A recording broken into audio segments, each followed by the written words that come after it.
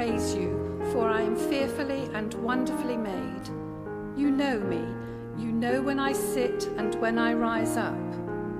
You know my thoughts, my going out and my lying down. You're familiar with all my ways. Even before I speak, you know my words. You know my name.